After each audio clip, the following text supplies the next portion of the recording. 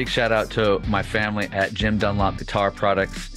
This podcast wouldn't be here today if it wasn't for my time and the uh, mentorship I received from Jimmy Dunlop himself and that whole entire team. Their creative team is incredible. Can't say enough about Jim Dunlop guitar products, the picks in particular, MXR and Cry Baby, but I love the guitar picks. There's a lot of really great guitar picks out in the world, a lot of small time companies making really great things. I've got a lot of them. At the end of the day, my favorite picks are Jim Dunlop, and I love the Ultem. I love the 73 Flow is my number one favorite. This is right here, my custom pick. See the Siege logo on the back and hologram hot stamp. You can order your own picks customized from Jim Dunlop as well. They are incredible as a company. They make great products. They own the pick game, as everybody knows. You can make good picks. It's not like other people don't make good picks, but Dunlop makes most of them. So that's what's up. Uh, thank you, Jim Dunlop, for supporting the podcast. Thank you, Jimmy. Thank you to the team there.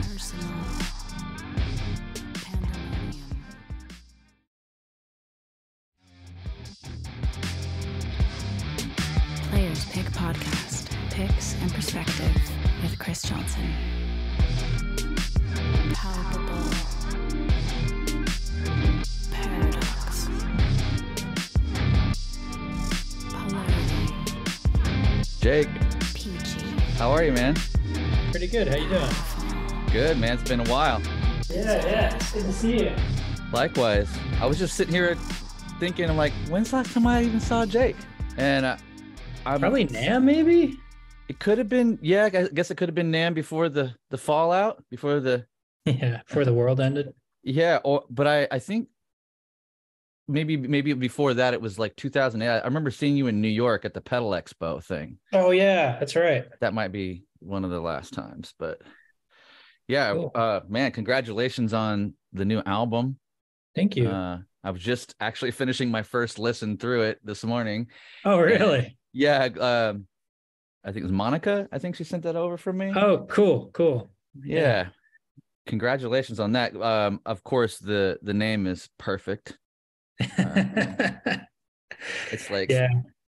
We uh we just can't help but troll our listeners. just it's just deep within us. I well, I think that might be uh part of the secret to your success too, is that you don't you you make serious like intense music and very artistic music, but you also don't seem to take yourselves too seriously, and I think that that's a good mixture. Yeah, I, I agree with you. That's kind of that's exactly where we're coming from. I think. I think that it's like it's very easy to kind of fall into the depths of your own ass, and uh, we don't wanna, we don't want to be up there. Oh man. Yeah, well, I mean, and it's been it's like the perfect like I said, it's the perfect album title just in a lot of ways because you have you guys you guys came in right as as djent became a thing in a lot of ways. I mean, uh, and I don't know, it's been like well over a decade. When did you guys pop off that first album? Uh, the first album came out in 2010, and um, prior to that, we had like two other versions of that album with uh, very like different songs and like different uh, like versions of the production. But that was like the first, the first version of the uh, or the first like released version. So that's the, really the only one people could hear. But yeah, I mean, it was Djent was already a thing like even before that album came out. So yeah, definitely. I guess uh but maybe with the rise of periphery and animals and stuff, I feel like it got popularized like officially uh, to me. I don't I'm trying to think yeah I, I, I, I can i can get behind that i mean like um we started doing a lot of touring then and so did animals and then you had monuments and tesseract and um chimp spanner and and Mm. there's a bunch i'm missing and i apologize uh if i miss some but there's a lot and like even by 2010 we've all been doing it for years so um you know thanks Meshuggah. That's right. And, and we got uh we can always refer back to Hevy Devy's lyrics. Everybody loves to rip off Meshuggah. Yeah, it's Yeah. true. And and and we also love to rip off Devin. So hey man. thanks, like- Devin. Yeah, thanks, Dev. yeah, well that dude, uh it's I was yeah, I was thinking about that too. It's like it's uh when I when I listen, especially like guys like you guys that were I really I really uh praise the first the first album was such it felt like a landmark thing and still to this day when I go back and listen to that album I'm like oh these guys really killed it on this and you know every every album has been kind of a bit of a one up on some level like you guys have always went wider taller you know in some direction like that that double album the cool I mean clear was really cool all those all the things you guys have been up to through the years and you always invited in other amazing guests you know? I mean i think i found out about guthrie through you guys. Oh cool. that that album you know? Um so. Yeah that's cool. Yeah i mean it's kind of like one of the uh perks of being in this style of music is that you always kind of run into the best musicians. And it's you know i can't even express how lucky that makes me feel because like you know, I know where I'm at as a guitar player. I know how the other guys feel about their own playing. And like we, you know, we definitely have like we're not worthy syndrome. And it's uh it's just so cool that like we have that kind of immortalized on a periphery record, you know, a Guthrie solo and a Wes solo and a John Petrucci solo. yeah. And on periphery one, we had Jeff Loomis and stuff. It's just like um there is a, there is a there is a downside to that is that like one of us has to learn like stuff we can't play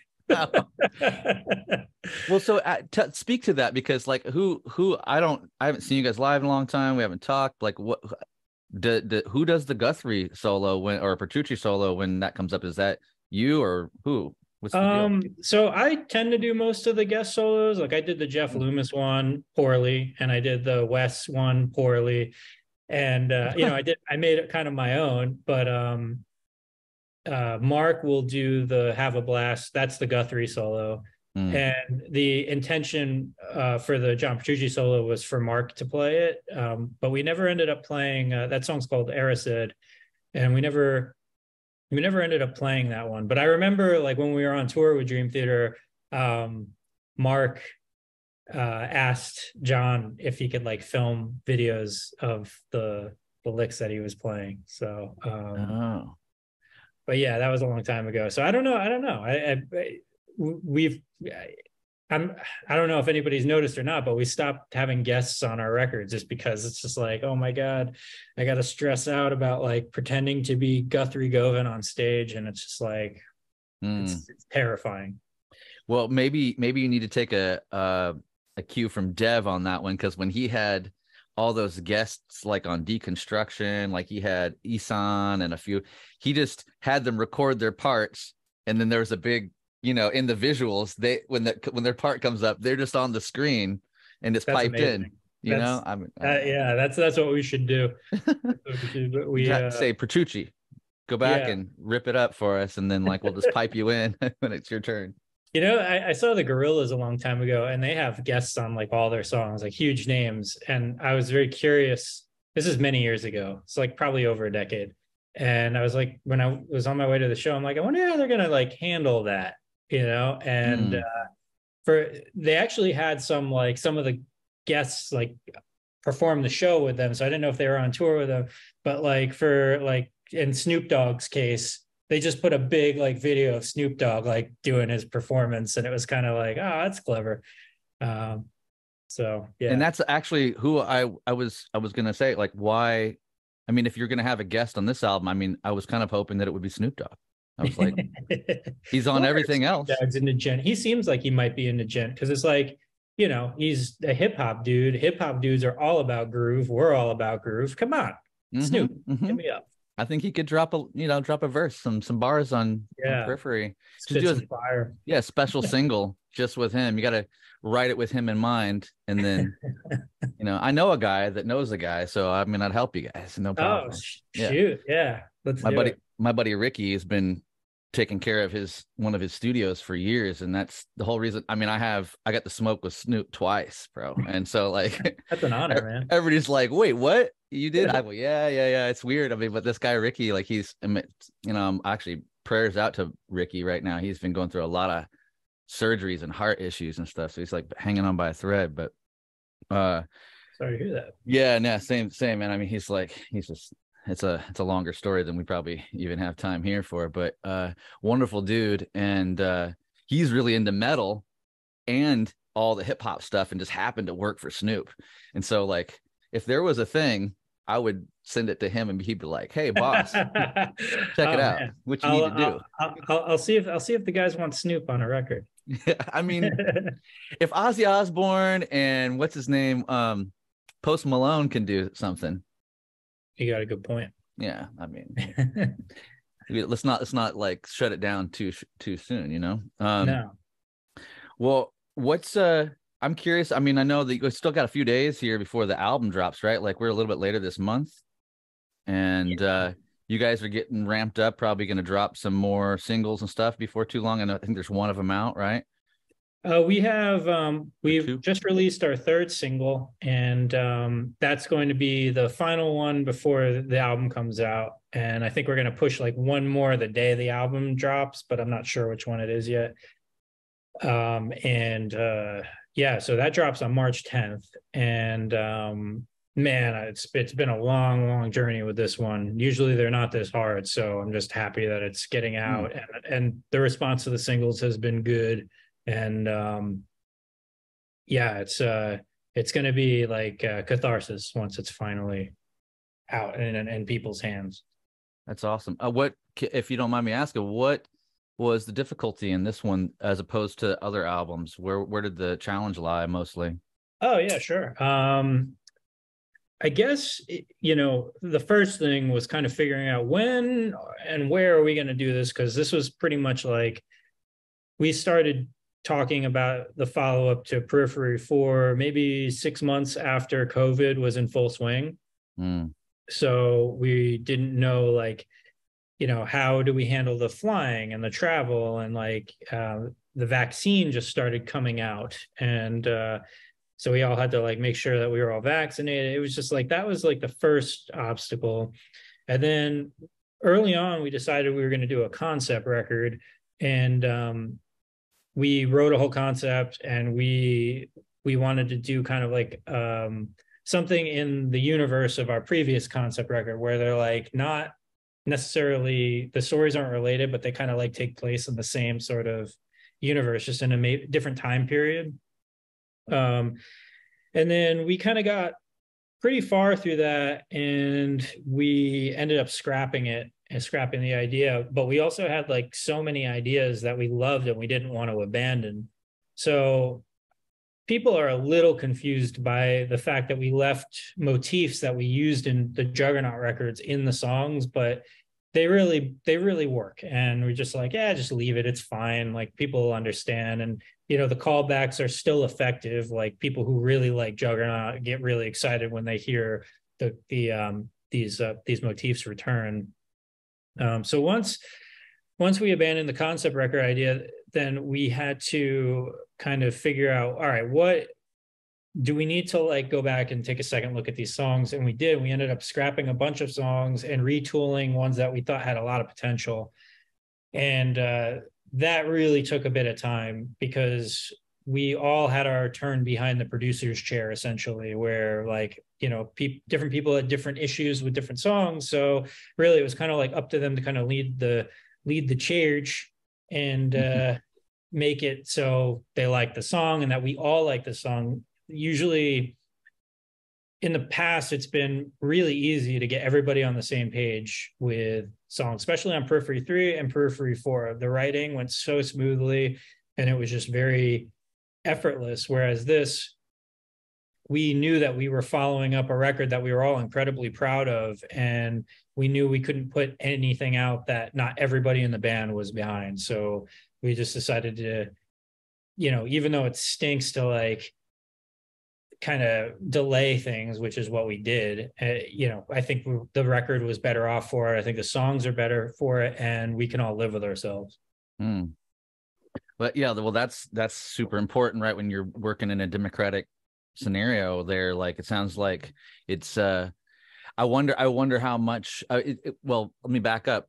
First, I think it's really cool that you bring back the motifs from Juggernaut, right? I think that's something that not maybe enough bands even are willing to entertain because they feel like they have to have something new every time and to have a little bit of flavor come back. Like, I mean, it's something that that bands that more prog bands do you know like it's a dream theater like oh metropolis part two that's kind of like, where we get it from is 100% dream theater. And uh, yeah i think what you're describing is like this sense of familiarity. And it's not like like we brought back these sections and they're just like the you know copy paste of the session the the sections. They're they're they're the the motif is there but the interpretation is different. So like you know you're getting a different rhythm or you're getting a major version instead of a, the original minor version and vice versa mm. that kind of stuff. So like we'd never just like kind of you know bring something back just to be like look nostalgia like we're going to play with it a little bit and make it you know interesting. Yeah that's great.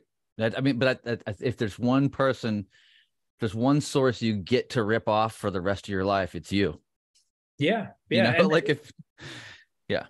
Yeah it's just like the the the mileage you can get out of your riffs as long as you kind of have an imagination about them you know it's pretty much limitless. I think that's kind of like one of the things i find interesting about music is that there's not that many notes but you can create all of these like permutations and uh, vibes and um, you know kind of playing with harmony and counterpoint and all these things that can really make something that is you know you're either ascending or descending in a scale. That's it. And you know you, you, i think that's what's kind of interesting about it because you can make these really like huge dense soundscapes but they're really not the the core components aren't that you know diverse.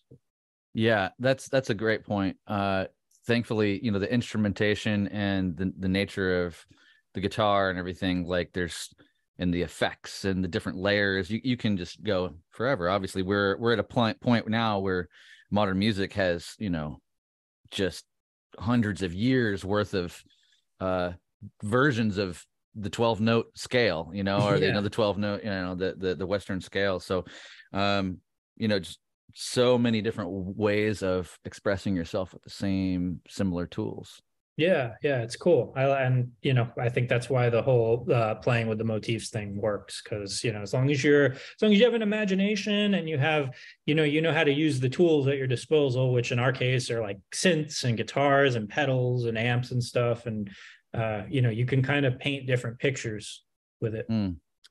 Yeah, again, we're ref- uh, I'll reference Devin again because uh, he actually, now that I think about it, he's one of the few guys that I've seen re-record an old song and put it on a new album with a different flavor a few different times. Like uh, when he put out Addicted, Hyperdrive was an uh, a Ziltoid song. And then, but it's way to me, it's way better with Anneke on Addicted with the the better production and everything too. So it was like he took it up a notch. I mean, I'd still go back and listen to the original, and it feels cool, but you know, he's yeah. able to express himself in a different way. I mean, he's done it a few times. Devin's kind of an outlier in that sense because, and he's probably like the perfect example of somebody who can like really see all sides of his output and kind of craft it into new things and and kind of you know i don't think i know i can think of anyone else who just can weave in and out of his own style and other styles and still have this kind of massive personality and this massive sound. Like he's really one of a kind. Like like you know probably one of the best to ever do it in my opinion. Amen man. I agree 100% yeah so i mean well in in listening to this new to periphery 5 uh there's a considerable i mean i don't know not i think i only counted like one or two songs that didn't end in a really interesting compositional like orchestrated orchestrated way. Um can you talk about how that came about? Is that something because in the credits it shows misha is like doing a lot of that type of work it sounds like. Is that kind of his part of yeah, his major yeah. element on this album or? Yeah so the the kind of the orchestral sort of additions at the end of the songs came way late in the process because we had the track list almost finalized and um, we kind of talked about because uh, in uh, we tend to have these sort of uh, interludes or palette cleansers or whatever you want to call them kind of bolted onto the ends of these songs to kind of make the flow into the next track a fresh feeling because you know when you're getting a lot of the same sort of dynamic you know you kind of need things and at least in, in my opinion need things to kind of uh, um, cleanse the palate and and kind of get you ready for the next thing. And uh, we were having internal discussions about do we want interludes on this? And you know i think originally we are kind of like nah let's just make it like you know you know everything is its own song and its own world and everything. And then misha started like sending over these orchestral things that he, he had been working on. He's like what do you guys think about this and the end of this? And i'm like that's actually awesome. So then we kind of like totally backpedaled on that idea. And uh, Misha, uh, you know, is largely responsible for a lot of the orchestral things. Uh, even within the songs, he is. So, like a good example is um, there's a track, uh, "Wax Wings," and um, I wrote that whole ending section, and it was like based on that main melody, and I tracked it, and then I was like, "Dude, you know what you should do? You should like." do orchestral stuff here and I, and so he sat down mm. and like he just kind of made the section so much better because it's like this huge buildup into this huge sort of you know epic outro and um that's a lot you know that a lot of times that's how these sections get built up is because you know he kind of gets he just he's so in tune with the uh, uh just classic instruments and just the sound of orchestral music that you know he can really like turn a section that's just into that's just guitar into something much much greater. And uh, he's done that for quite a few songs in our catalog mm, that's so cool man i i agree and that's something that i i have noticed that you guys definitely pay attention to you give attention to the palate cleanser and i love that you use that term because that's exactly how i felt this morning listening to this album and as after the first few songs were uh, going by, I was like, oh, I like that. There's this theme kind of. It's like not a. It's not a, th- a musical theme, but it's like a reoccurring uh, freshness to each track. So when the next one comes in, I feel like I, I, get to start over again. You get to build it, you get to slay it in any all these different ways, and then there's something that lets you kind of uh, off that high end, uh, you know, that high energy into something a little bit cleaner, a little more spacious. Yeah, that's a, that's a hundred percent the idea, and uh, I appreciate I appreciate records that give the listener some space um, because mm. especially with a, a, genre like metal or djent or anything, any of it's like uh, you know related sounds, it can get really fatiguing on the ear, and um, you know I I hope that this gives sort of people you know the set like the ability to kind of come down off of the sort of assault on the ears and and you know move on to the next piece kind of fresh mm. yeah and and, and noticeably i you know you guys have always had a sense uh, like a a sense or a thread of pop sensibility in the midst of your djent like prog like insane you know time signature thing. And it seems like there may even be a stronger thread this time around. And i don't know is that like a spencer thing when on the vocals? There's some of the some of the the the palate cleanse actually happens in some of these other sections that come through. I'm curious about how that came about on this particular album. Yeah um i think all of us kind of have uh you know a we all have an affinity for pop music. Uh, it's tough to call anything in anything close to what we do like poppy but there is that sort of um there is that sensibility in some sections. Uh, and uh i think i think a large majority of it comes from spencer and and the music that he likes to listen to and just his vocal style. Um and uh a good example of that is uh the track Sil- silhouette which um uh, me and misha wrote that as kind of like this sort of electronic song that was just an electronic song. It was supposed to be kind of like we have a project together, me and Misha, that's like just like that sound. And um, Spencer, we sat down with Spencer and we're like, all right, we want you to write vocals for this. Like, what what does it what does the song need? And so me and Spencer kind of spent a whole day just adding sections and kind of building up into what the song eventually became, which is sort of like a synth wave, sort of synth pop song um, and uh, yeah it's just kind of uh, we all love that style and we try to figure out clever ways to incorporate it into this kind of uh, heavy metal world, which um, some people like and some people don't. But you know, I, I feel like like on our last album, we had a song called Crush, which really wasn't very heavy, and it was a pretty polarizing song. And mm. um, and we had a song on Periphery Three called Catch Fire, which is like very very like not poppy, but just kind of not what we normally do. And and I think that was a polarizing song. And for me, those are some of my most favorite moments because you know i'm used to the metal thing you know i have it like pretty much drilled into my head when i go on tour and you know i i, I do listen to metal and it's just kind of like it's refreshing to kind of uh see see what else we're capable of musically because it's like it's almost like it's almost like eating the same food every day. It's like eventually you're going to kind of get like bored of it and you want to see what other food is out there. So that's kind mm. of the way that i look at it musically. Yeah it's uh you know there's it's so um what's the word i'm looking for? Like uh you know it's it's very uh it's it's a, a large task to take on to put all these elements into one album or even you know just to have them present in one band and everybody kind of feel good a you know get their part in that they like and and then everybody feel good about all the songs. I'm really impressed with uh with just that element alone that you guys even agree at the end of the day. Oh yeah, this is the thing, right? Like we love it.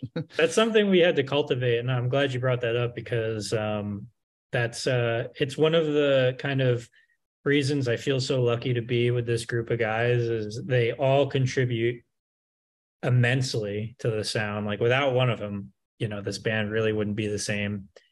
Any one of them, and uh, they also know when to kind of at least I know when to kind of like take a step back and just like I hear somebody doing their thing and I don't need to get involved. Like they got it handled. And I I like that I like that attitude because I'd say all the guys have that. And it really enables people to kind of flex their muscles musically and not have somebody interfering or always playing the producer role because we all trust each other to be in that role. So you know, we'll all be honest with each other if somebody's doing something musically that we're not into.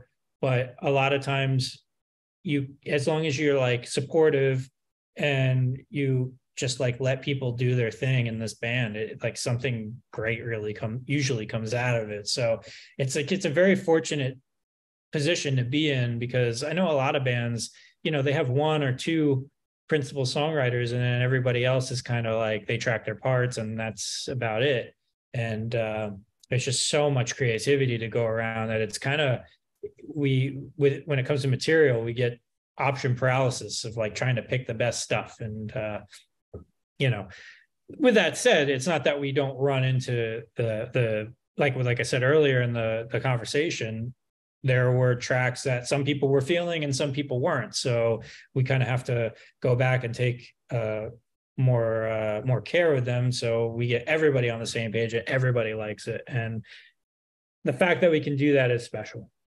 Yeah it is. I mean just just two two friends trying to agree on certain things sometimes is a lot you know and then you get five people you know uh that's that's a whole nother thing and you have three guitar players like i don't i still don't even understand you know I, I was like the early days trying to be in a band, trying to find one other guitar player that I that we could like be, you know, in the same zone, same mindset around, and let alone like you guys just really lucked out in a lot in a big way. Uh, Hundred uh, percent. And personality, uh, the biggest the biggest thing is personality, and um, that's something that was like developed too. Like I didn't come into this band like fitting in perfectly. Like I I've mm. used to butt head with butt heads with Misha uh, quite often. Um, and uh, it was uh, it, it, took a it took a long time for us to kind of like me, me and Misha have always been like musically compatible. Um, and I've always been musically compatible with Mark and, and the rest of the guys too. Um, but it's it's also something like communication is something we had to work on. I know it's like kind of like a cliche thing people say. It's like, oh, it's always about communication. Well, it truly is because if you don't learn how to respectfully communicate to your your you know your collaborators uh, people are going to get like resentful or or bitter and um you know there were times where i was like feeling like man, like a lot of my stuff isn't making the cut. Like, am I shot? And uh, Mm, it mm. it took me a while to like kind of understand that uh, I just had to be, you know, I just had to practice more. I just had to be more persistent. I just had to like change things. Everything was in here. I just had to fine tune it. So, you know, I got what I wanted. And I also like was able to communicate with my band better. And it, like once I kind of like figured out that it wasn't like, it was like, it wasn't anything that I was really doing. It was just more of like my mindset. And once I learned to kind of like take the ego out of it and like not worry about just serve the song, I became more comfortable. And I think everybody kind of like reached that point at different points in the career of the band. And it's just, it's just nice because a lot of times, you know, if people are feeling kind of like, oh man, all the stuff I'm doing is getting cut, then they kind of get like, why am I even in this band? Right. And, Yeah. uh, you know, it's never a good place. So um, it took a long time to get there, but now it's just, uh, just so great. It's so great. And, you know, there were difficulties writing this record. And I kind of like, at once we finished and it, you know, we do like a weekly band call. I was like, hey guys, I want you guys to remember something. Like we went through something that was really, really hard and we came out the other end and you know we did it so like if we can solve i want you guys to remember this moment because if we can solve that problem then when it comes again let's not get discouraged like we did you know Mm. and uh yeah so it's good i got i got a great group of guys Yeah, it, it sounds like, you know, at this point that each of you have learned to trust the organism that is the greater thing, you know, the the the group of you to trust kind of the the intuition of of the organism of the group, you know, and like you said earlier, like, oh, I hear somebody else doing their thing and they gotta work through it and and find their place, then it's like you're not you don't feel as concerned. And you know, I'm sure in the beginning, in the early years, I mean, in a lot of other groups that I've been in and around, like there's there tends to be a a proving season, and you feel like, well, if I better prove myself here uh, in all these ways, and if my stuff gets cut, then I'm not available or I'm not as as worthy of the spot, whatever. But like over time, the communication sounds like that leveled things out, and here you are. So yeah yeah exactly that's that's exactly what i was uh was getting at it's like uh, you know when y- you kind of feel uh i- inferior inferior it's like an inferiority complex in a sense but like now that like enough years have gone by like there's so much of my material on these records it's just kind of like you know i work i put in the work i you know i fixed things within my personality that made me easy to work with and everybody else did the same sort of like self work and Mm. it's just it's just really nice and what there's something else that you said that i really agree with like periphery kind of being its own sort of organism or it's it's like it's kind of this thing that we kind of orbit around um and it's funny that we're called periphery but it's it is true. It's kind of like you know we all understand that the band is kind of like this thing that's greater than ourselves and it we see it as this kind of vehicle to kind of bring our musical dreams to to reality. And um i think everybody appreciates it too there's there's an appreciation for the fact that the band is sort of this thing that we can count on um for a career but also to be fulfilled artistically Hmm. And I'd I'd be interested to know. I mean, because you kind of you touched on it here with there being difficulty in this album cycle and creation, right? Just trying to find the middle ground for everybody. But I, I, you know, I wonder about you guys have been doing it so long now. Like we're talking, you know, I don't know, fifteen years or something, like uh, ten. yeah at that sounds about right well over a 60 decade, but yeah yeah and and you know i in that time even when things are going good you know thing you, like I, per, I speak personally like from my own career like my life has been great and i'm super thankful for all the things right but there's been multiple points along the ro- road where i was like oh shit am i even doing the right thing like i should maybe i need to be doing something else is this is am i going to just burn out on this you know because i you know you have to find a way to freshen it up and i I wonder about yourself, like, uh, you know, either personally or professionally with the band. Like, ha- have there been? How did you get through those moments as they arose? You know, as on a personal level, was it? Did you do any therapy? Do you do you do you work it out like by going to the gym or like, what's your process? Yeah, um, it's it. I, I could say that like there there were stretches of time in in my in my existence in this band where I was just like, man, like I eat, sleep, and breathe this band. I I feel like this is going to burn me out if I don't kind of like reclaim a little bit of my identity. And um, I think a little bit was like kind of distancing myself from the online portion of being in a band and just constantly like just checking everything out. Like it's un it's completely unnecessary for me at this stage. And I think that kind of gave me a little bit of myself back. Um, as far as like things that I need to do that are outside of music, it's like a lot of hiking. Um, I do go to the gym. Um, I also uh, like do a lot of gaming and and hanging out with buddies that are into like cars and and and stuff like that. So it's kind of like that's my outlet. And um, I, and musically, I also have a, a solo project that kind of allows me to like do whatever I want. And for better or for worse, like not having a collaborator, you can kind of just like put things out there and that's, you know, that it it's good enough, you know. Whereas mm-hmm. like I mm-hmm. couldn't, I don't think I could do a, like a, a a periphery sounding band on my own. Like that's that's solely this thing that I have with these guys. And for me, it's like the the music that I put out solo is so much different, and I like that because it's kind of like this other side of my personality musically, and um, I need to do that too. So yeah, it's it's very easy to get burnt out, especially when like you're, you know, you wake up and it's like, okay, what's Periphery going to do today, rather than what's Jake going to do today, mm. you know. Yes, I can see, uh, especially with with the ongoing success of the band that that the the pull to immerse yourself constantly in the business in the projection of where and what the band is going to do what next you know that in a lot of ways it, it has to come first in a lot of ways because it's probably it's the thing that's bringing in the cash it's the thing that's you know that that brings in future success. You kind of like you're hanging everybody's hanging their hat on this thing that they're collaborating on. So um and I, I i can you know personally relate to a degree at different times working for different brands.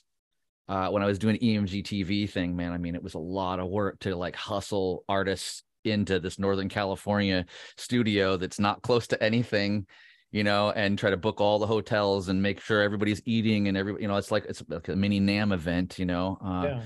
and uh and you can get lost and like i'm like oh my gosh i haven't even done my regular work i'm just doing the the big special project right now. I've got all this legwork that I still have to do, and yeah, you know, I'm like, oh, maybe I should take a weekend or a week off and like do things that Chris wants to do. Go to the beach, yeah. you know, walk the dog, that type of stuff. So yeah, I mean that's that's a good point, and I think that kind of like that shines a, a light on um, people who are now like they fancy themselves as content creators for social media or YouTube or Twitch or or whatever. And I'm seeing at the rate at which people are churning out their content. And some people find success doing it, but I think like it looks a certain way to somebody who might be interested in doing that. Then they get into it and then they realize, oh, wait, like this is just hmm. like being in a band, except you're by yourself and you have to do everything yourself. And I see quite a few people who just get kind of burnt out on it. Like I've tried to give the Twitch thing a, a, a, a try, and every time I, I like think I'm like, all right, this time I'm gonna do it. I'm gonna get hmm. going. Something happens in my life where I'm just like, I don't have time for this, you know. So mm, like, mm. it's um, it requires a huge upfront investment and a continuous investment. It's all about consistency to build your audience, and then sometimes it just doesn't work, you know. And yep. sometimes you just don't have the personality or the time invested or the right message or branding or whatever and it's just it seems pretty exhausting so it's uh it's uh, we're in a tough spot right now uh kind of socially when and like especially people trying to figure out like what they want to do what you know because i people want to get into the field that they're passionate about but sometimes access is uh comes at too too steep of co- a cost yeah, I think you I think you actually hit it. It's like people think they want to do the thing because like oh i love guitar and i want to play guitar for everybody or i like making videos about gear i'm going to review gear and i'm you know and they think they want it until they ha- until the rubber hits the road and they're like you realize oh wait that are these pe- other people out there actually spending their entire day for one freaking 15 second video or 30 second video to like be Yeah. just right? Yeah actually they did for a long time. They, their process may be a lot quicker now you know? I mean i look at somebody like uh thomas McRocklin you know like who is a content king. Like i mean he but his world revolves around it. He he's not on tour 99% of the time. He's usually at home in the studio. He's not he doesn't have the same you know uh stuff that you have to think about around the big world tour thing. He you know it's it's but it's the same as being in a band. It's the same maybe even more in some respects because he's doing most of it himself. And Yeah. I think a lot of people, you know, ha- wake up to that when they get even three steps into it and they're like, "Oh, wait a second! Yeah. Even just having a simple podcast, did you do you have your logo figured out? Do you have your thing figured out? Do you have what like? It's a lot. It's a lot. And and um I also know that people are good at maintaining kind of like after they achieve some success, they're good at maintaining the DIY look of their, you know, whatever it is that they're working on. But a lot of times behind the scenes, they have multiple people Mm, helping them now. And people see kind of like the end result of this many years of working, starting off solo, then slowly maybe becoming successful enough to hire a producer or so, an assistant or a camera operator or somebody who can like organize your your workflow and stuff like that. And a lot of a lot of like the most successful channels and um, social media accounts will have more than one person behind them, even though it, they started out as one person and they still look like one person. It's not Mm. necessarily one person. good point. Good point. Yeah, I'm sure. I'm sure Thomas and all. It's like it's kind of the the look of what you know. You look at Joe Rogan or any big podcast or any big thing, and you're like, yeah, it still kind of looks like it's just two couple dudes in the thing, but like you know for sure, like at, at that level, there's five to ten people making sure it all goes right. You know. Yeah, hundred percent. Yeah. yeah Yeah. it makes sense uh yeah it's you know it's one of those things uh I, I i people ask all the time like well how do i get this you know and i'm sure you get it all the time well how what's what would you tell somebody that's trying to get into the field that you're in and you're just like oh man it's like such a loaded question like Yeah. you know It's you like- might not be good at any of the things that you think you're good at and that you have to wake up to that before you can actually yeah. get I, anywhere I've had to wake up to that quite a few times. Um, it's same uh, same it's a it's a tough question to answer like sincerely because it's like I want to just be I just want to like grab them by their shoulders and I'll be like it's pure luck um and uh because it's like I'm I don't think I'm like not talented I, I do know that I possess a degree of talent but because I always think about like, well, if that didn't happen, then this wouldn't have happened. And if I didn't meet that person, then this other person wouldn't have come into my life. And then I wouldn't have paid attention to what they're doing. And then that brought skills to me that I didn't even know that I needed. And then it's like, I'm like Mm. trying to draw this map in my head. And then I'm just like, wow, it really does come like you have to be there and you have to be accepting of opportunity as you see it kind of unfold. And, you know, it's just kind of an impossible question to like, truthfully and methodically answer for someone. So it's like usually when somebody asks me that, like, how do I, you know, start a band or how do I get on tour? And I'm just like, just show up on time, make good friends and show up Mm. on time. Mm. That's like the best thing you can do. Mm, other that is really good, simple advice to the point, right? Because um, nobody wants to wait for your ass, and Yeah. uh, like Yeah, and, it's like it, if you're on time, if you if you're early, you're on time, and if you're on time, you're late. I think that's like a like isn't that a jazz thing? Yeah, Yeah. it's like a I don't know. Uh, that I I I agree with that. It's funny because I think one of the first things that Devin said to me when we first started working together, uh, he was one of my first kind of like exciting, like personal hero people that I worked with when I got the gig at at Ampeg and Mackie. We also did Alvarez guitars, and he was like his his buddy Mark called me and was like, "Hey man, Mark, uh, do you know who Devin is?" I'm like, "Oh yeah, I know Devin is." Like he's like, well, he he needs an acoustic guitar, you know, to finish this album called Ghost that he's going to release soon. And I was like, oh, well, anything I can do, I'll, I'll do it. And he's like, well, he wants to drive down and hang out with you. I'm like, oh shit, you know, it's like he came down and, and spent the night and hung out. And, um, I remember in that first session, he was just like, he's like, look, man, I've, I've been doing this a long time. And this is, you know, I don't know, 15 years ago or something. And he's like, I've been doing this a long time. And, you know, uh, I've dealt with a lot of AR guys, and I'm just going to give you the straight scoop that, like, hey, if you can't do something, tell me right away that you can't do it. Because the world is full of people saying, oh, yeah, oh, yeah, sure. Yeah, no problem. And then I'm stuck waiting around, and I hate. He's like, it's the time. It's a timely thing. It's a timely because if you drag something out, you're essentially, you know, if you might have a good reason to do it, and that's fine. If you're communicative around it, great. You know, everybody knows, oh, it's good, it's delayed, it's delayed, it's delayed. But if you keep saying, oh man, any minute now, you know, and then there's like actually nothing going yeah. on. Oh man, what yeah, I, I, I respect I respect that kind of thing because like when it comes to like promises that people in the industry will make, it's like it's almost like in their head they're very confident in their own abilities and they're like oh i'll just figure it out. Like i got to get this guy on the roster. I got to work with this person. And um, it's uh you know it's always uh, over promise and under deliver and i that can be really frustrating especially for someone like devin who has been doing this for a really long long time.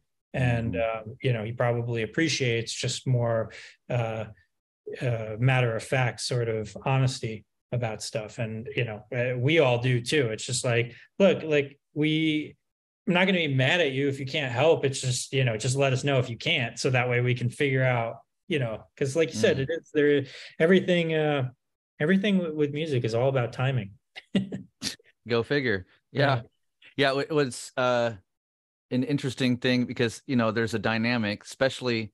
And I was, I was, I'm still, I'm as I could, as you can tell, I'm still so thankful for Devin for saying that, for being matter of fact. In the very beginning, he caught me it within the first six months of me doing this gig, you know, and and was like, hey, I'm gonna just say, hey, like this is you don't know everybody in the industry yet, you know, and you're gonna like, I'm just gonna say you're gonna be miles ahead if you just do this one thing. If you're gonna do it, great, do it. If you can't do it, great. Tell me I can't do it. Tell yeah. the person you can't do it right away. And so that, and I was like, oh, that's great because uh, it helps, really help. It helped a, a lot of things. Uh, and one of them being that Devin, because I, I, you know, I, I saw him and I was like, oh, I got stars in my eyes a little bit because I remember when the Steve Vai album dropped. Like I was watching Headbangers Ball, and there was this, you know, fruitcake with the weird braid on bald head and running around. On I was like, I don't know what Vai's up to, but he's got a crazy cool singer, and let's go. It's the '90s still. Like I'm interested, you know. Yeah. And um, so I re- I remember that, and then I remember getting turned on to Ocean Machine and just being like, who is who is this guy with this voice? Like, yeah there's nobody's got this voice. This is something else, you know. And and it was a new production style too. It was like kind of this blend of like industrial meets metal, and, and it was just like that kind of like huge sound. Like the only other band really doing it at the time was uh maybe Meshuggah and Fear Factory, and but like Dev, Devin like had like that that more prog approach, and I loved it.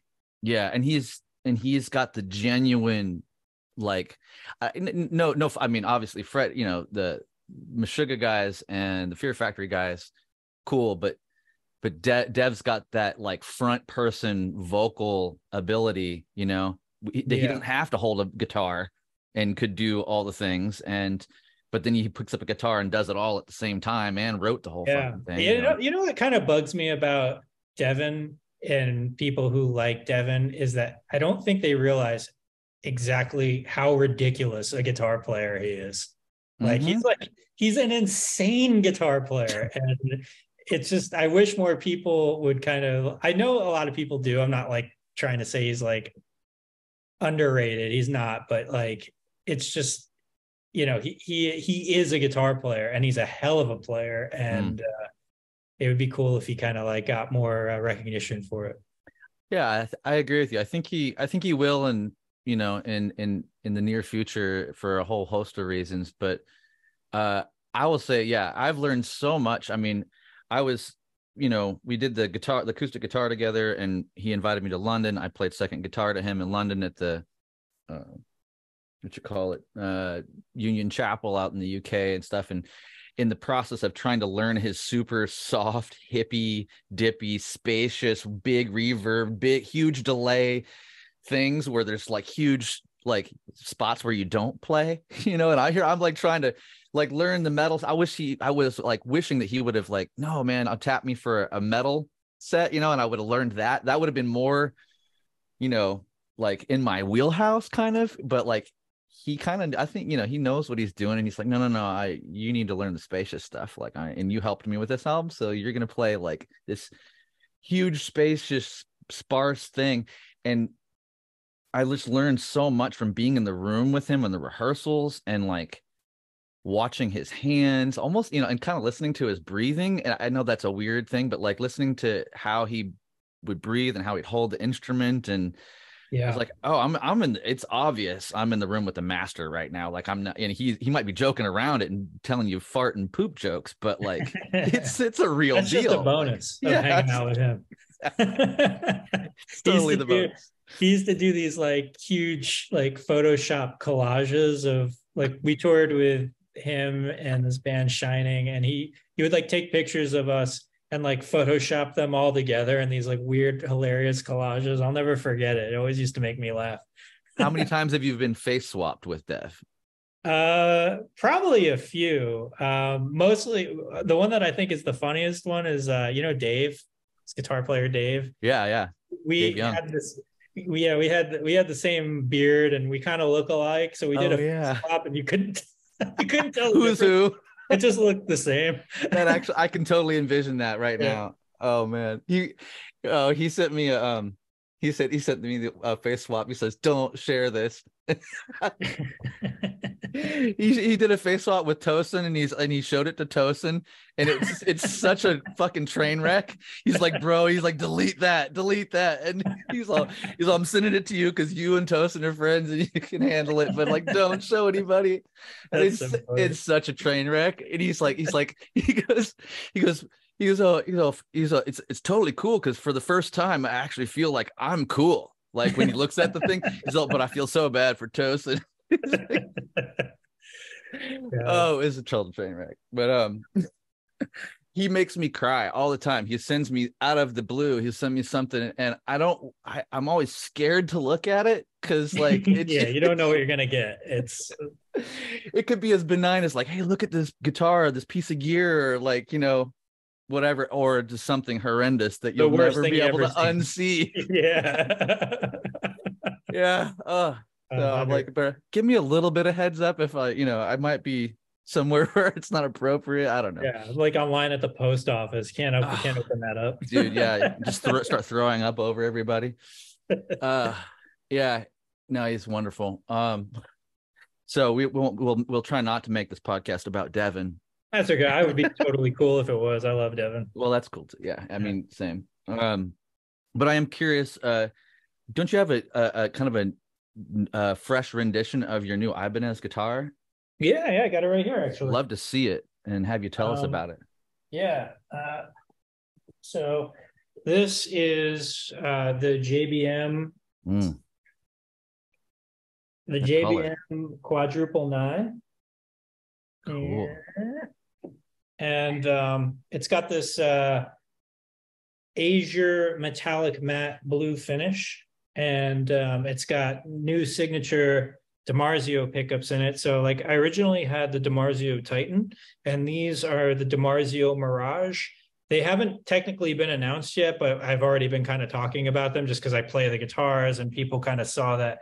Like, I was playing a new pickup that had these like vents kind of punched Ah. into them. yeah Um, and uh, yeah, they uh, they kind of made a, a proprietary bridge for me for this guitar. It's 27 frets. is that an ibanez bridge you said or is that somebody else making that bridge Um, it's an Ibanez bridge. okay Uh, they may they, maybe Gibraltar makes it, and I, I'm not exactly sure, but I know that they like tooled it for this. This and you it, it serves like a more lower profile scenario for you or yeah, what's the, like what's the it's basically the you know like uh it's it, closely related to like the Hipshot sort of Hmm, design because I like those bridges, but I've been. It looks flatter on the sides and it looks more comfortable to me. Yeah, it is very flat, Okay. uh, and it's very very comfy, uh, and it sounds good too. It's a good sounding bridge. Um, five way pickup selector, uh, and just a volume knob because I don't really mess with the tone knob that much. Um, has Luminlays for the side dots Hmm. um, for those dark stages. Um, painted neck. I know a lot of people don't like painted necks, but I love them, so they're just going to have to deal with it. Was that satin And, finish uh, though? What's that? Satin finish on the neck as well. Oh yeah, yeah, Yeah. The whole the whole guitar. It's like kind of like a satin matte sort of like hybrid where it's like not too matte, but it's it's Hmm. uh it's got a little bit of uh you can kind of see the gradient like on the neck. Yeah, It's- yeah. It's it's got a little bit of reflective quality to it. Um And what's the neck pickup there? the neck pickup is also a DiMarzio Mirage. It's a uh, it's a hot rails uh, humbucking pickup, but I always love the look of like HS configuration guitars, kind of like the Caparisons and uh, Yeah. old ESPs of the day. Um, and uh, I thought it'd be cool to have a single coil slot. So in case you wanted to put a single coil in there, you totally could. But uh, you know, the, with the pickup selector, I can get single coil sounds So you've Uh, had them uh do this new set in both full size and mini humbucker essentially. And It's the same kind of attempt to have this a similar sound. It so I did not do a a full size humbucker for the neck. Like the neck is just going to be this. Um, Okay. Yeah, uh, that. But the the Titan is still available, and uh, I don't know if I have a. Oh wait, I do. So if you wanted a, a humbucking neck pickup, I see. or, or rather a, a full size humbucker, I should say.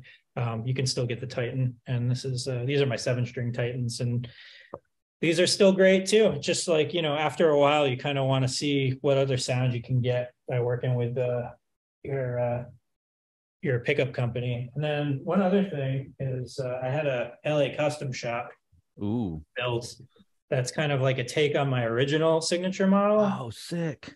and uh, I have an Evertune bridge in here with like the gold saddles, That's and hot. um, I have stripes uh, on the pickups. What? yeah, yeah. So this is like I did a gold bobbin underneath the Oh. cover, so like the window you can see the gold bobbin underneath, and it kind of goes along with the whole black and gold aesthetic. Mm. Um, but yeah, kill that. Then It's got gold rails too on the the neck pickup. Is that- yeah, yeah, it does. Yeah, Wow. rails, DiMarzio's uh, killing it, dude. DiMarzio's always been great. yeah like, yeah that's they're they're my favorite pickup company I, I i they they hook it up and then uh i uh did uh black tuners black Hipshot tuners like open back ones ooh, yeah, yeah. kinda see the the gears there and then i took i cannibalized the uh the nuts from a set of gold tuners and put them on the black ones so i have like kind of two-tone tuners there That came out great, Jake. Wow. yeah. But the Evertune, the Evertune is like the best thing ever. I, I can't get enough of that. What do you keep that particular one? What's the tuning for that one? It's uh everything down a whole step with the low string a G. Okay, okay. Yeah. That's badass, man. Congratulations on all that. Like uh you. I mean Ibanez, one of the greatest uh companies to ever make a guitar of all time. Yeah. You know, they got some of the dopest people throughout history uh playing Ibanez and uh Mike Arrigo, man. Oh, I love Mike. Mike is a big reason why these uh these guitars exist. Um Yeah. you know, he's always taking good care of me and you know, they let me use their custom shop and it's just uh it's kind of a it's kind of cool. Yeah, Mike's the dude. I've just always always loved that guy. Like it's always been, you know, years before I ever was uh, doing anything with any guitars or anything. He was, I was, uh, you know, a lot of it came about around, uh, around EMG and stuff, and and Dunlop. I guess I would I would see him a lot in LA for different events and stuff. But just just such a happy, positive guy that that actually enjoys doing a good job at what he's what he's hired to do and i just so respect that you know um and then he and, and, and it's proof when I talk to all the artists that he deals with, and they're like, "Oh, Mike," and I'm like, "Oh, yeah, good." yeah, Yeah. He, he he's he's easily one of my favorite parts about working with Ibanez because I know that like if I have a question or if I need a piece of gear or if I want to build a new guitar or anything, like he you can tell that he's excited about it. Whereas like I feel I don't feel like I'm going to him like asking him for things. I know that he's going to be like, "Oh yeah, let's do it." You know, like what can you know, what do you need? And he's just like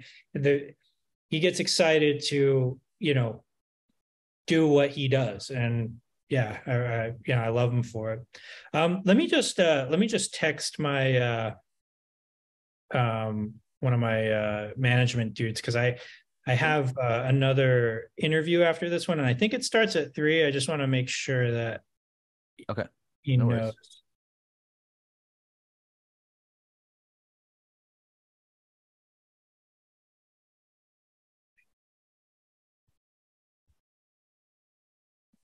check here sorry about this It's okay. Your East Coast time, yeah. Yeah. Interview. Oh, wait, it's at four. Cool. Okay, we're good. We're good. No worries. Yeah. Well, yeah. The next uh, question, a line of questioning, was about uh, kind of a little bit of what this whole podcast got predicated with, and that's uh, curious about guitar picks and your history with guitar picks. Like, uh, maybe you can tell us a little bit about like where you started. Like, I sometimes it's a little vague, you know, in your early years. Like, what was the first couple of guitar picks that you Oh, remember? I, I I I remember. I Oh, totally- good. Yeah, and if there was anybody that influenced you along the way, and then you know, how did you get to play what you're playing now? And then maybe you can show us that stuff too. Yeah, yeah, of course. Um, I probably still have some of the first guitar picks I ever owned, and this is like going back to. I'm 39. This is going back to like when I was eight. So Yeah. they're they're around here somewhere. I just have to find like what like kind of like uh, memories box I might have thrown them into. But so my first pick ever was um or a couple of picks was uh those fender ones that were like multicolored it looks like they were assembled from like different colors of plastic. It was like red and blue and black in there and it had the like clown Fender- vomit. yeah exactly. It kind of looked like that. Um and i picked them because they looked cool. Like i didn't know anything about picks i was just like mm, the, the colorful one. Yeah. um, and then I would go to the music store, and this is in the like the mid or late '90s, some somewhere in there. And I noticed this this brand called Tech Pick, and it was like the only metal picks there. And I'm like, oh, I want to play a metal pick. That sounds cool. and like they were fine, but I feel like they like broke my strings. um, and uh, I also like them because they had these like holes punched into them, and like that was like back when I like wore a guitar pick uh, around my neck, so I could let everyone know that I played the guitar. yes, dude. That's so awesome.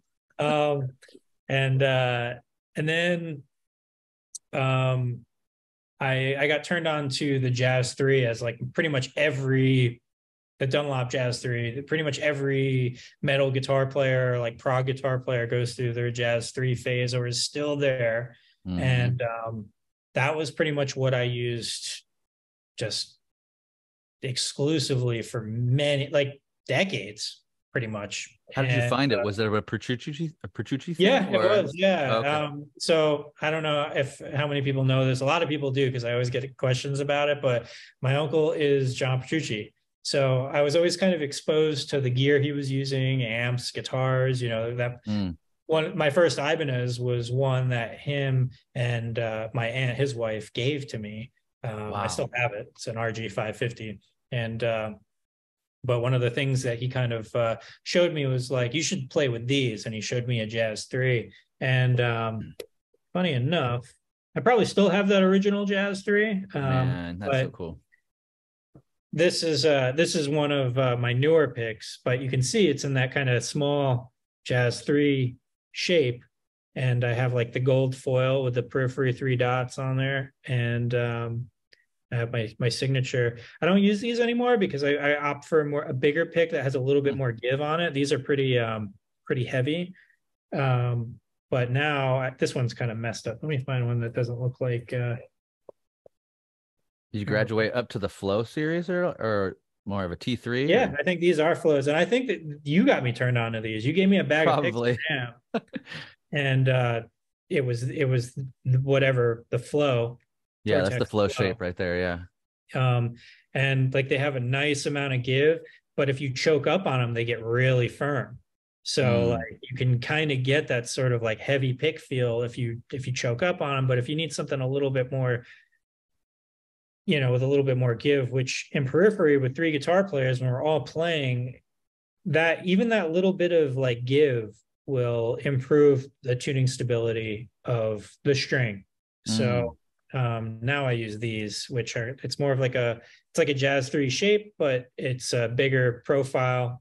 And uh yeah, I got a couple different versions here.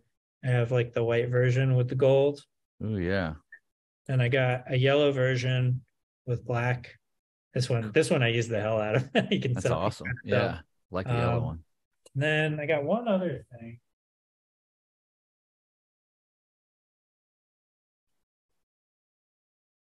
Yeah, I, I don't know why I put these in a frame.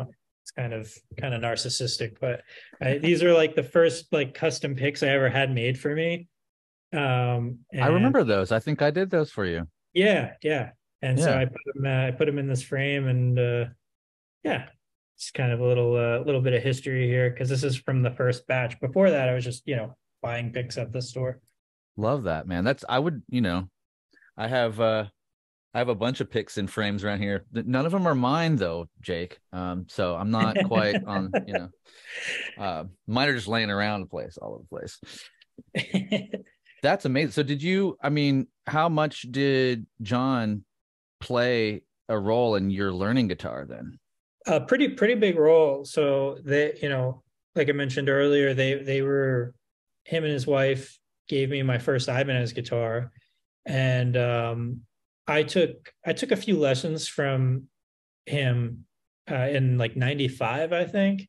Hmm. And I would go, uh, I'd go to his house, and um, it was always a blast. Like it was always a lot of fun, and uh, we we couldn't really continue doing it just because he was touring a lot more. The band Dream Theater was getting bigger, and it was just uh, it was harder to kind of to get together. And then he eventually moved pretty far away from me. So then I really only ever saw him on holidays at that point. Um, but as far as like the influence that he had, it's it's immeasurable because uh, Dream Theater is one of my favorite bands. Like that album Awake is probably one of my top three favorite albums of all time. Hmm. And like I'd say that's a big reason my playing sounds the way it does. Like maybe you know maybe it's not like a direct sort of you wouldn't be able to tell that that's where I've gotten a lot of my inspiration from, but I can assure anybody listening who knows that album like there are a few people who know know that album as well as I do.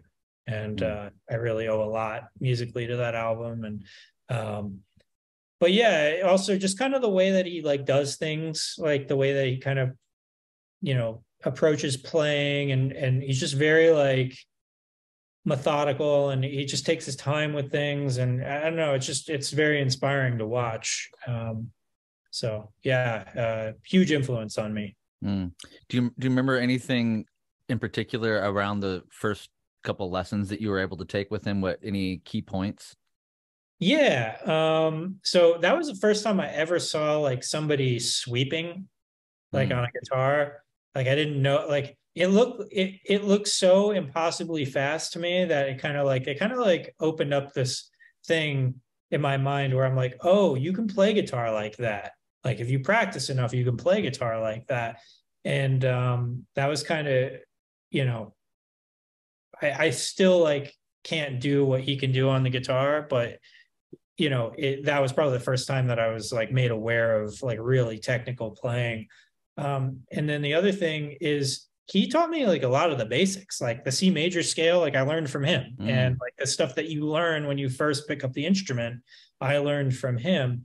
And um, it's uh, you know, you can't you can't really get luckier to have that guy as like a guitar teacher for your first guitar teacher because it's like you know I'd go to his house and he'd have great gear he'd have great guitars and and you know he'd have you know his sensibility for guitar and um it just you know really I was just really lucky Man, it's so cool. It, it's funny because I think I took my first couple of guitar lessons uh in like must have been 93 94 and there was a teacher here in my hometown that uh uh i was i, I met him walking through the mall and he was just like you know kind of there uh, they had a booth uh on behalf of the local music store and he was trying to like recruit students and it, the place was called the music teacher.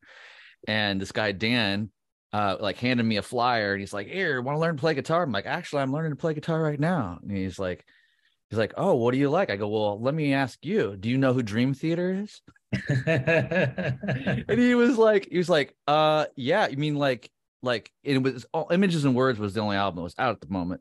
And he's like and he, and he picked up a guitar and he's like you know this riff? And i'm like oh dude i don't know. That was like pull me under you know? And i was like uh well uh when can i take lessons with you? You know? And yeah, he Um, proved he proved himself right there on the spot. on the spot. And then i remember the biggest thing in the earliest few lessons was that every time i picked up and he had a, a solid koa carvin guitar with an ebony thing it was the first time i even really knew much about carvin after that i was always picking up the carvin catalogs and all that stuff Yeah, I had, But, uh, I had I had a stack of those in my room. even if you never had a carvin you had a carvin catalog That, like that was a just- great catalog. Yeah. yeah like dreaming about oh i would make mine that color Fuck that. i don't want that you know um but the it was every time i picked up his guitar it was immaculately set up. The floyd rose perfectly balanced everything all the tension the height and he was he showed me a you know some of that stuff and i started to learn it later but even when i was still like doing okay at my own setups you know like it was there was nothing like picking up his guitar and playing through his rig. I was like oh you know, and and his other big influence was Al Di Meola. Was Al Di Meola and John Petrucci were like the two big ones, and just that um, young person awe of going in that you were talking about the good. I mean, it wasn't John Petrucci, but it like we were talking about him, you know, and it was like the same type of thing. And he was trying to you know teach me economy of motion, like don't you know don't do this big wild guitar uh you know rock and roll thing you know you got to like minimize everything and uh i kind of listened you know but yeah, you never you i mean there are still things that i probably learned in my my first lessons that i still don't do or have like been really bad about. It just you never listen to your first teacher that well. You get better at it. Yeah hopefully. I mean years and years later I, I was like you know i should go back and and try to learn the lesson like five six, six years later you know whatever. I'm like should go back and try to and i start to do it. I'm like no i'm bored you know like i'm i'm still the same person. I'm gonna play the way i'm gonna play to some degree and i've just had to you know do my best to accept that that's where i'm at but uh that's awesome man. What a what a what a cool story uh to have jp as as uh uncle Yeah. john uncle john show me your thing. It's it, it, it it's so like it's kind of surreal um you know as i get older and and i'm just like man like i had no idea what i was dealing with back then. Like i just was just like this is just normal you know? But like at, now that there's like a lot of time removed i'm just like man that was one lucky ass kid. Mm, hmm I one of the comparisons I can make is uh, my friend, uh, friend Eva Gardner, uh, plays bass for uh, Pink, and her dad was Kim Gardner. He was in the Birds and the Creation, like hung with the Rolling Stones, and like she grew up in a household like with all these randos coming by, like they and they own, they used to own, or they still own, the Cat and the Fiddle uh, in L.A. in Hollywood, and it's moved, it's moved locations and stuff, but um uh, over years of getting to know Eva, you know, dropping by uh, and her, you know, us meeting up and stuff, and she posted one this photo one day of her, like I, I, I think she was like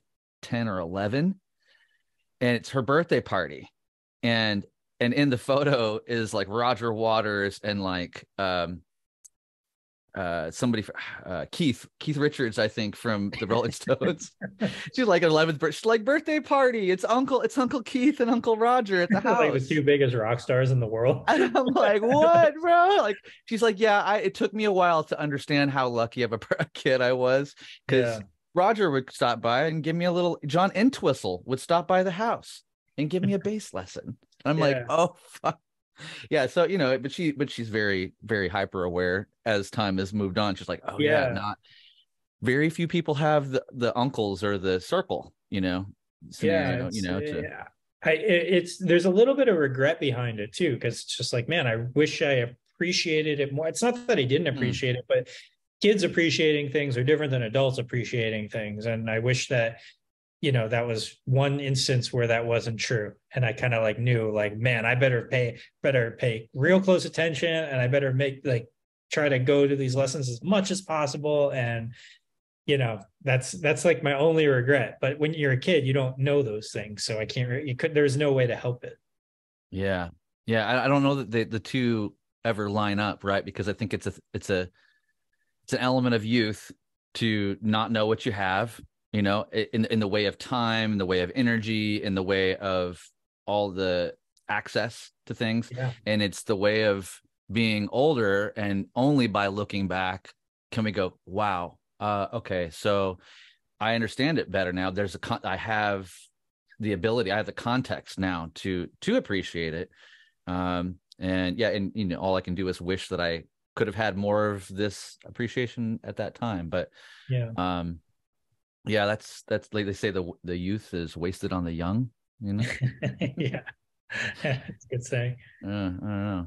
Um i'm curious about um uh, with this new album is is there a highlight moment for you on the album? Uh like do you have a favorite track or and because I don't know exactly who's playing what solos on there, you know, um, maybe you can point out is there a favorite solo that you have on there that you can tell us about? Um, so uh, there's there's four like guitar solos on the record. Two of them are by Mark, and two of them are by me. Um, actually, no, there, there's there's if you count the one in Wildfire as like the first track as like a solo, that would be Misha.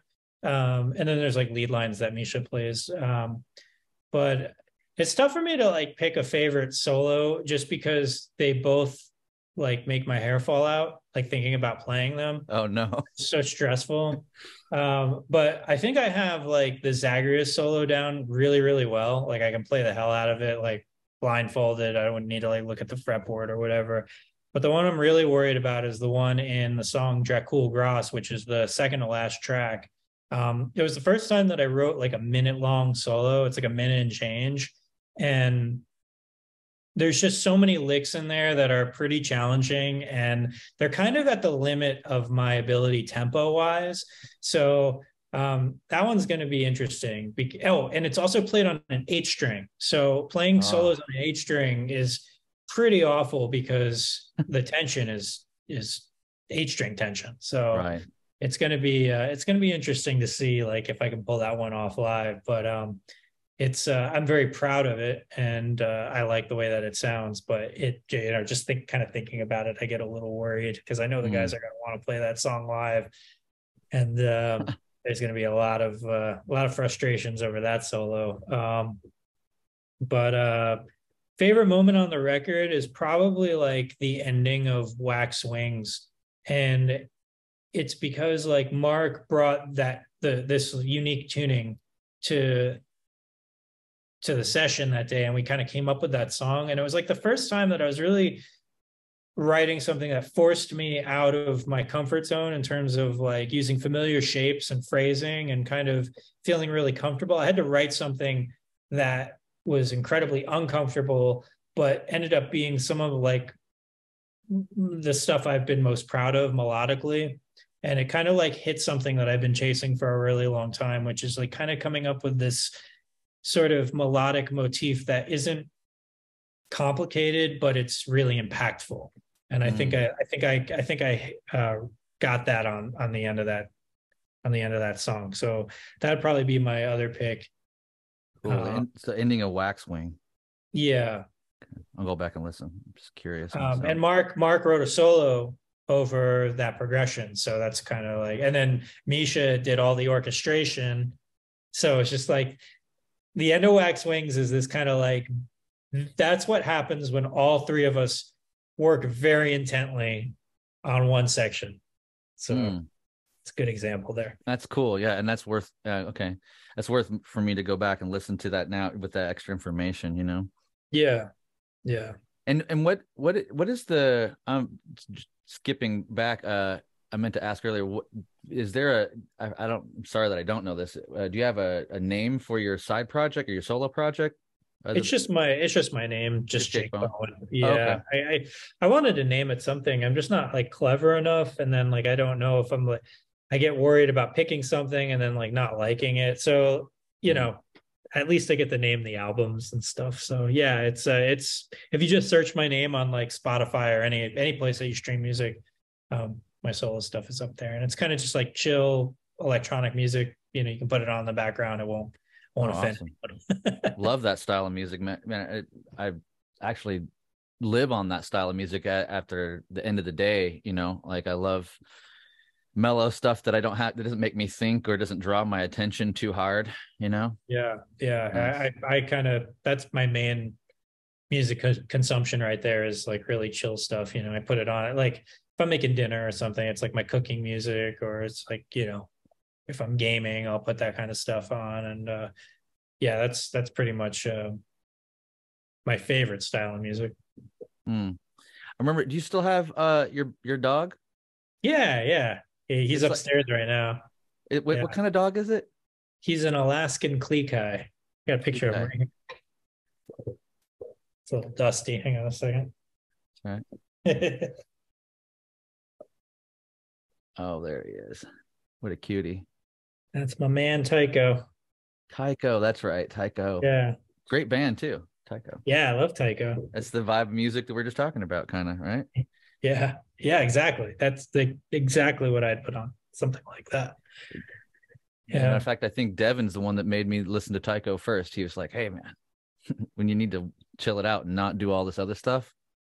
Yeah. Yeah. He, yeah. He listens to a lot of that stuff. And um, he got me turned on to that uh, playlist, uh, Ambient Sleeping Pill. Um, Oh.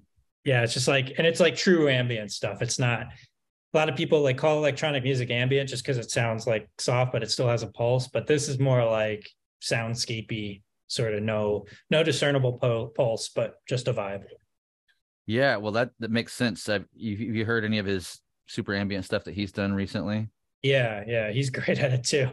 Man, Yeah, it's crazy. Like he he turned me on to a bunch of stuff. Yeah, prior to that, but then he started putting out the the loops, kind of like put that the one piece. He put out a couple improvisations, and then he put out this the last one, which was called Dream Piece, I think. And I I use it all the time. I I teach yoga on the side, at, uh, five five days a week. Um, and in the softer moments in the rest section, that I use his piece a lot because it's Oh, so, so cool. relaxing and spacious. And I've had a handful of people like, hey, "What is this that we're listening to?" And I'm like, "Oh, Yeah. man." I bet. I bet. You ever heard of a band called Strapping Young Lad? Yeah. You should look them up first and then come back. yeah, you gotta you gotta be like uh you gotta be um you gotta check this out first because we can't have any posers. You gotta listen to this. Yeah. And then, yeah, I'm not even. I'm not going to send you this link until you check. Until you check out "Love" by Strapping Young Lad, Yeah. and then and then I'll send you the, the follow up link. And what, now your mind is blown, it's the same guy. Yeah, different era, but same guy. Yeah. yeah, that's awesome. Well, I'm curious. Like growing up, did you, uh, like with your parents and your family stuff? Did you did you grow up with like a a religious slant at, all and and and whether you did or didn't do you did have you evolved any type of you know belief system or anything that kind of that you anchor around or you kind of feel like you know agnostic or something like I'm that glad you asked that question. I feel like people avoid questions like this because they're like they feel like uh it's inappropriate or it's like offensive, like it'll offend someone. But I I, I love questions like this because it's like a- you know a lot of what I think about is kind of like the nature of why. Mm. Um, but growing up, I never really had any sort of like rigid religious household. Like I think my family kind of aligned with Roman Catholics, but um my my mom uh, had a long-term boyfriend that was Jewish, so like I was I did Jewish holidays as well. And um you know, I just kind of got both those sides of it, but I never really like felt any sort of like I never had like leaned in any one direction really. And um it's kind of like I I try not to be too presumptuous about the universe and its purpose for us you know, I just kind of like, you know, it is what it is. You know, maybe we're not entitled to an answer. Maybe, you know, maybe it's just, you know, we're here we're like the universe's way of like observing itself you know so it's like i try not to um i try not to form like super rigid beliefs around like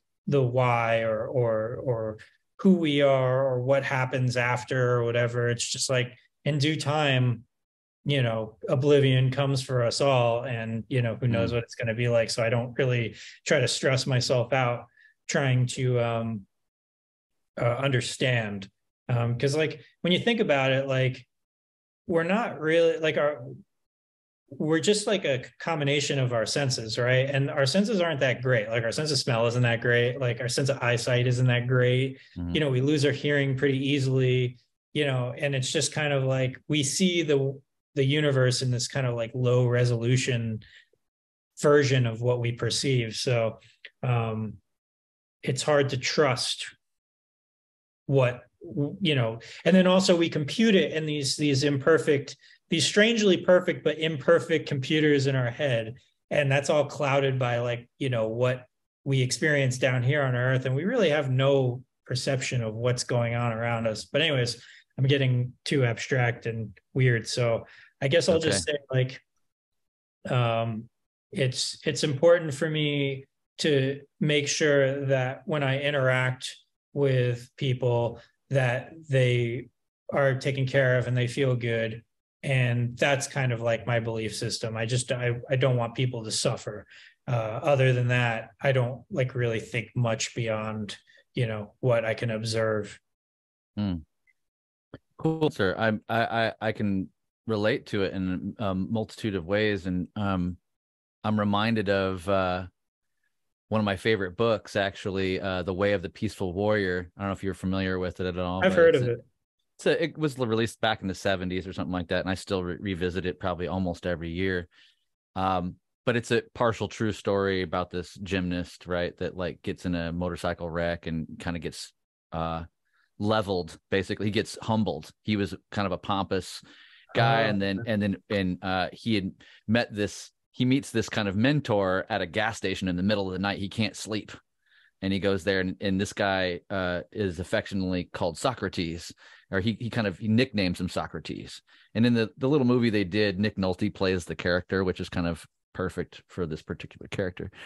But when he he he tells Dan, uh, you know, uh, all, all, these little tidbits of like information around around life because Dan's you know kind of pompous young person, thinks he's really good, and then gets humbled and has to kind of relearn uh, learn a different way of, of seeing the world and interacting um, and in the process you know he's dropping all these bits of wisdom and he says uh, he says you know three three rules in life you know uh, paradox you know uh, things are not always what they seem and two things can be true at the same time. He's like humor it's like uh you know or paradox humor and change is what he what he what he says you know um and and he's like humor is like develop a sense of humor about yourself uh, about the world and about your life especially about yourself right like that's super important and then change uh all it, things are always changing um and in and in the process of of navigating that change don't spend too much time trying to figure life out like you're a matter of fact actually i think he atta- attaches that to paradox in the beginning. He says something about like, you know, it's it's a trip. You're not going to figure this out. Don't spend too much time trying to sort out the details. More important to to know that you know uh, keep your sense of humor and that all things are changing. You know. Yeah. And I think I think the sense of humor thing is really important because it's like you. I think a lot of people struggle with the fact that they are not in full control of their lives or like the, they're not they're not you know the the concept of free will is a completely abstract thought that we are you know we struggle to wrangle with and keeping kind of like a you know keeping sense of humor at the forefront of that will really prevent a lot of disappointment because you know it's just like that's the way the universe is. The universe chews you up and spits you out you know live life and, and enjoy it and laugh at it and uh, you know try not to take it too seriously because we really are just you know organisms on a rock at the end of the day. And um, you know it, that in a, in of itself is kind of funny because um, we're able to like converse on this level. But really at the end of the day we're not much in the great scheme. So it's it's it's pretty it's pretty funny. Yeah, yeah, I I 100% agree. I um the the the the part where uh I'm a I'm a big big fan of Alan Watts too. Like I don't know if you've ever listened to Alan Watts much. He's pretty popular in like the mellow music realm too. I haven't, but I, have also again I've heard of I've heard of him. Yeah, I mean the people you probably heard him in some ambient song or somewhere they had a quote and somebody he was saying something profound, you know. And I was just listening to uh there's a his son put out like he started last year. He's got like 400 hours of his dad talking you know, uh, from the 60s and into the 70s wow. before he died. And uh, and one of the sessions is only like, they, he basically is going to go through all 400 hours on this like new podcast that they started last year, and and he kind of intros and all that stuff. But one of the one of the things was because you know you always hear it's kind of cliche like oh we're all one man bro like it's like it's just hippy dippy dude like you and me we're the same thing man and uh and and like I've always been like yeah and I'm like, but how? like, like, because I mean, I mean, I think I get it, but like, I, I'm not sure that I get it, you know. And there was, and every once in a while, I, I, I've listened to a lot of Alan Watts, but the other day it was like the second episode come on came on, and it was like, he's like, look, he he he has this kind of reminding you. He's like, if if I am me because you are you, and you are you because I am me, then I'm not me and you're not you. you know, we're we're two sides to the same coin, and uh, we we're interdependent, so to speak, and we're and we're inseparable.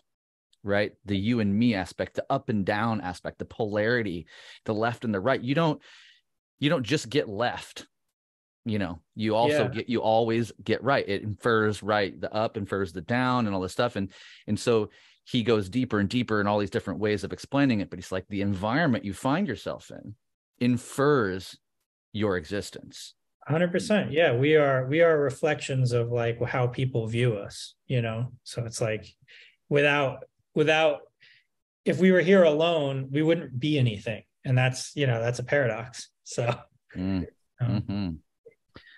Hey man, well that's a good place to start wrapping it up. I was uh, thank you so much, Jake, for for uh, taking the time to chat with me. I know you got another session coming up. Um, and yeah, no uh, thanks for man, thanks for having me on. It was fun, dude. Super super proud of you guys. Uh, super big congratulations to everybody involved in the new album. It slays, and it's yet another like sweet artistic expression from the uh, organism that is periphery you know? Thank you, thank so. you, thank you. It makes me it makes me happy that you feel that way about it. Um, hopefully, we we run into each other. Uh, where where are you located now? I'm in Northern California. I'm about an hour uh, north of Sacramento in Chico, California. Okay, um, you know where you know where Wheatland is? Wheatland, yeah, definitely. I, I, don't know. That's it. Might be in the middle of nowhere from like or pretty far from you, but we're we'll be there in a couple weeks. So Okay. Uh, yeah. I'll look it up. I don't remember how far, but I do. I do remember. Uh, yeah, and I'll I'll uh, I'll reach out if it's if it's reasonable. You know, I'll put you on the list. You know, no that'd problem. be great. Yeah. yeah, man. Thank you for the for the generosity, and um, I I will see you out on the road. Maybe you guys will come through NAMM in April. Or I don't know if that's a thing this year. Really, if many people are coming or not. But I don't know. I wasn't invited, so. oh, well, I'm I'm inviting you. Oh, thank you. Come thank on you. down, hang out. Let's go to dinner. You know, sounds fun. Cool. Well, uh, best to you in the rest of your day, man, and uh, we'll be in touch. All right, Chrys. I'll talk to you soon. Players Pick Podcast, Picks and Perspective with Chrys Johnson.